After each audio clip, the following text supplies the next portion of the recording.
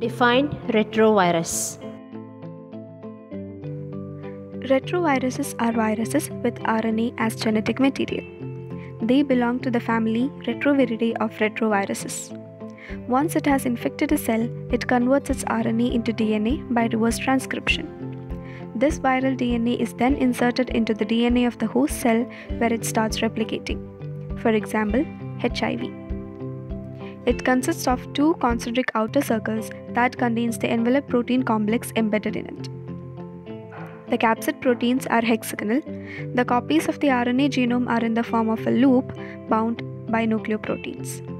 The main variant components are envelope, RNA, and protein. Difference between retrovirus and virus.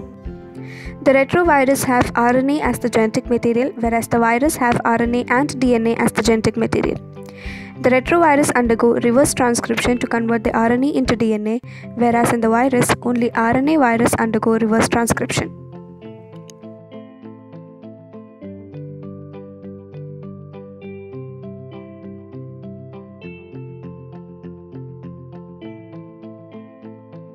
So this is how I made the chart for replication of retrovirus and the materials I used are chart paper, color paper, sketch pens, clay, rubber bands and cardboard. So let's see how everything was made.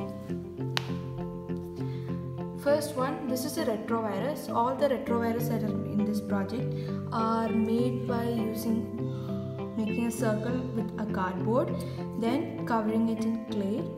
And these are how each of them are made. Next this is a retrovirus and the virus infects a normal cell. And this is this whole yellow color paper part is the animal cell. So the animal cell when it is attacked by a retrovirus the viral rna is introduced into cell. And this viral rna is converted into viral DNA. That is, viral DNA is produced by reverse transcriptase. The viral DNA then that is produced by reverse transcriptase is incorporated into the host genome. This is the nucleus of the uh, animal cell, this yellow animal cell. This is the nucleus of that animal cell, and this animal cell was made by covering a cardboard with color paper then these rubber bands that are being stuck to using glue these are the DNA this is the DNA of that inside that nucleus once the viral DNA is incorporated into a host genome, the new viral RNA is produced by the infected cell, and with that, new viruses are produced. These three are the new viruses, and these two new viruses can infect other cells. And this is how replication of the retrovirus in this project was made. As an extra side note, the infected cell, the cell which is being infected by the retrovirus, can survive while viruses are being replicated and